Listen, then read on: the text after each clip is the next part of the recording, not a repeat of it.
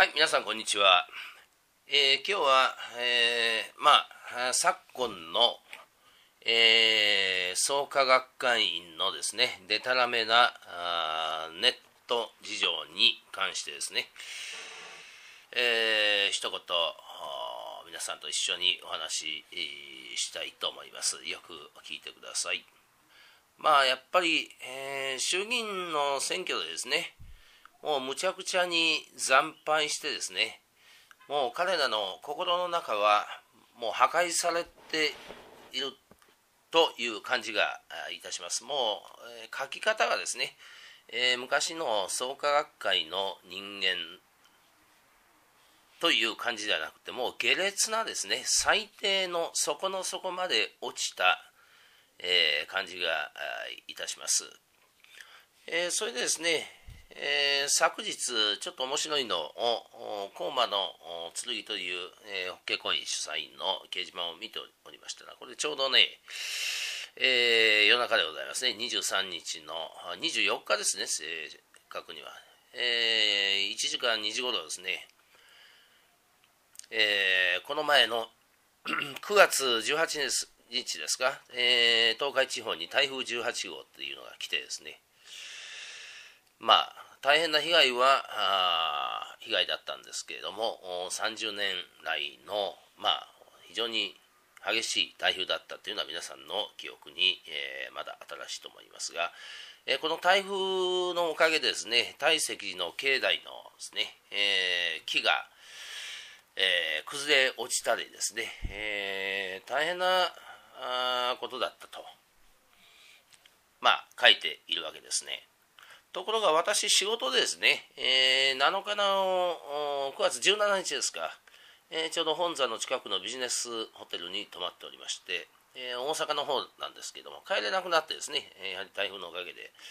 えー電車も車もストップでございますから。で、えー翌日18日ですね、えー大石寺の境内、心配ですから、えー近くに泊まってましたので、見に行きました。ら、別に、えー何もなくてですね、まあ、ちょっと木が、えー折れたりはしておりましたですが、えー別段、えー何もないということですね。この掲示板を見まして、私は、えちょっと反論してですね、え私はちょうど仕事でですね、えー大石の方に行ったけど、何もなかったと。そうしたらですね、え数分経ってですね、えモノクロの、白黒のですね、写真をこのバカがですね、え3枚貼り付けてきたわけです。えーそれ、見よという感じですね。えー大木が、えーえーお見え堂に続くう達中の道ですね、えー崩れ落ちたりですね、しておる、えーこういう木が写ってるわけです。まあ、白黒の写真というのも面白いんですけれども、よく見ますとですね、えその倒れた大木の向こうの方に、えーお見え堂がですね、ちゃんと写っているんです。で法華公院なら常識なんですけれども、今、三重堂はですね、えー修復工事をしておりましてですね、えーちゃんとテントが張ってあって、えー誰も見れない状態になっております。それを平気でですね、え3枚の写真を載せて、えー俺の言ったことは本当だろう、こういうふうに写真もあるぞと、まあ見せつけている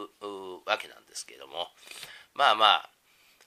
まあ、40年か50年前のジェーン台風か室戸台風か伊勢湾台風か知りませんけれども、まあ、そういう台風の時の写真を貼り付けていると。えーこれを見ましてですね、えーまあ私だけじゃないと思います。掲示板を見ていた人は皆さんそうだと思いますが、もう呆れ果てましたですね。えーここまでして宗門が憎いのかということです。えこれだけ何が何でもですね、嘘をでっち上げ、でたらめを書いても何でもやり放題と、えーそういうのがですね、えー現在の創価学会員の、えー現実の姿であるということですね。特に創価学会員の方は、一般の方ですね、えーよく知るべきということでございます。で、まあ、あちこちの掲示板でもデタラメのですね、怪文書、えー自由だとか、えー石山だよりとかですね、えーフェイクだとか、えー同じようにですね、えこのデタラメの写真を貼り付けた人間と同じように、全部でたらめということでございますね。で、どっからこういうふうなものを貼り付けてるかと言いますとですね、ゴルゴとマリアっていうのがあるんです。これはおそらく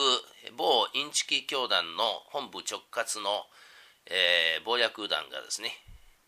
え、作っておるサイトだと思いますが、ここから引っ張り出してきてですね、え、みんなに配って、えコピーしてペーストしたりしている、えわけでございます。えそれとですね、もう一つ、えこのハンドルネームを見てください。もう本当にバカなですね、程度の低いハンドルネームしか使えないと。えー、それはイコール自分の命の状態がそういう風になっているということでございます。それとですね、リモートホスト、ホストですね、えー、この掲示板に映ってますね、えー、ちょっと見ていただきたいと思いますが、えこれはね、海外経由のプロ棋士を使ってですね、え日本語でよく